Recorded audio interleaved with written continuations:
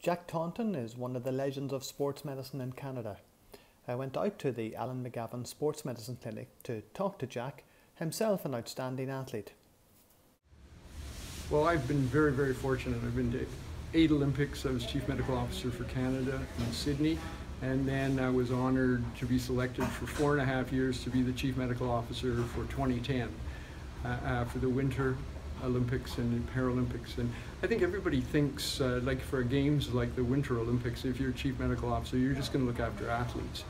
Uh, well, we, you look after the athletes, your 25,000 volunteers, your 2 million spectators.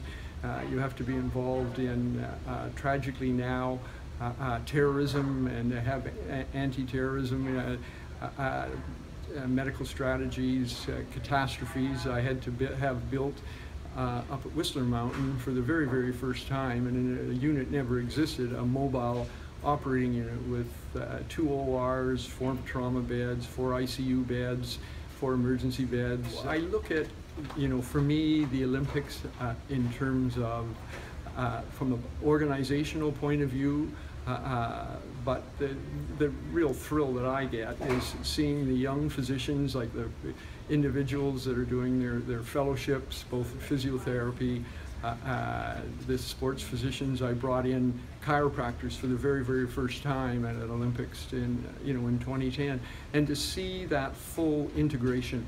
And I guess the biggest compliment they gave to me in 2010 apart from that we put on the best ever uh, medical coverage.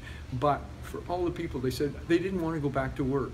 And, and that was the radiologists, those making orthotics and so on. They said that uh, we created a sports medicine wonderland. The negative concern now with uh, the games uh, is the whole issue in terms of anti-doping.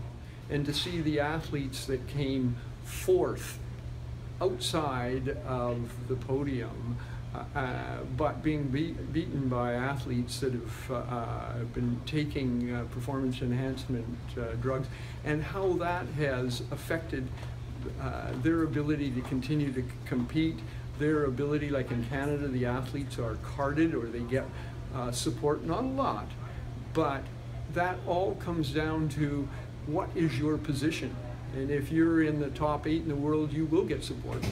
If you're not in the top eight in the world, and if you look in your sport, uh, uh, and if the athletes are in front of you are all uh, athletes that have been uh, doping, that means that these individuals have an extreme uh, uh, difficulty just living and paying the rent.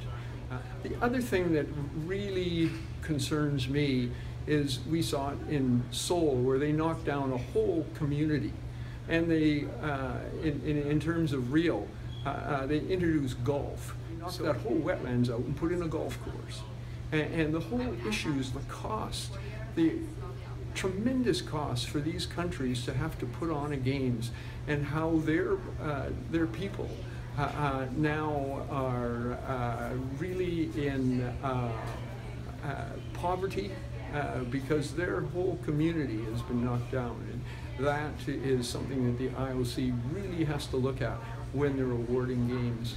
We have intense training programs for our physicians. Uh, out of uh, Olympic uh, um, medicine, we have seen the development of our, our, Canadian Academy of Sport and Exercise Medicine, uh, uh, which educates, which examines, which certifies our physicians. The same thing has happened uh, with physiotherapists, chiropractors have a, a, a, fellowship program.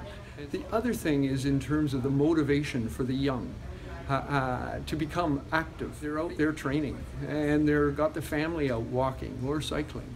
And, uh, and the, the heroes that we see, and we're very fortunate here in Vancouver with our national swim team here, uh, with Don McKenzie, with our kayak canoe uh, team going to, you know, to Rio with our field hockey team, and I worked with the men's field hockey team for 20 years and the women for 30, and how that has increased uh, uh, the number of participants in those sports.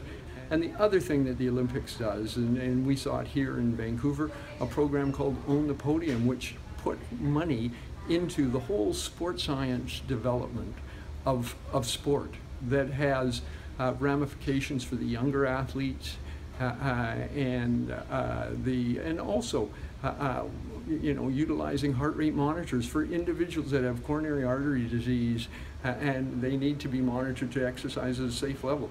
All the basic work of, uh, of that. It's just like F1, uh, Formula One car racing. You see the uh, uh, uh, the effect of that in the car that you're driving on a day-to-day basis.